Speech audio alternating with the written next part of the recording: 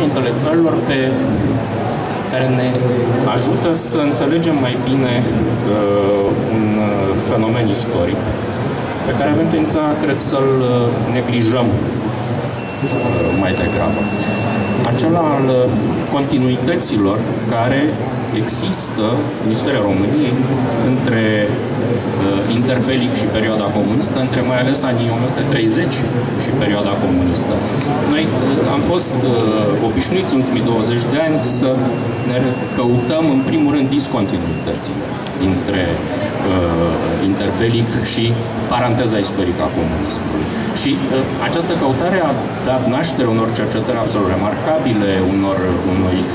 întreg domeniu istoriografic, care e cel al istoriei comunismului, așa cum s-a dezvoltat el. Uh, cred că este aici, în acest volum, o indicație clară despre un șantier care e doar la începuturile sale și care, mă tem, ne interesează în, uh, aproape tot așa de mult, cel al continuităților uh,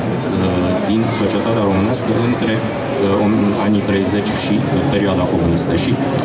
domeniul istoriei intelectualilor pare să fie unul cu deosebire prielnic pentru a surprinde asemenea continuități. Dar a găsi aceste continuități, ale uh, lumina, uh, presupune o metodă pe care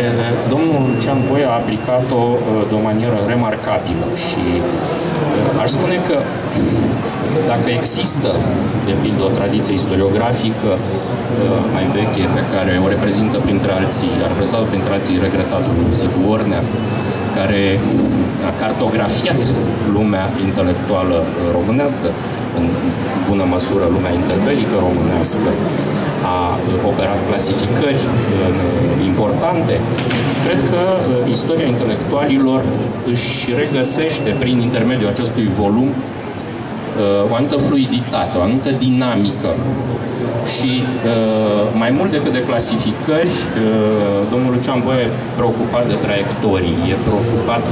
de mișcările deseori zigzagate, contradictorii, halucinante chiar, ale intelectualilor din elita, ale membrilor elitei intelectuale românești, în această perioadă în care politicul devine realitatea dominantă care oprimă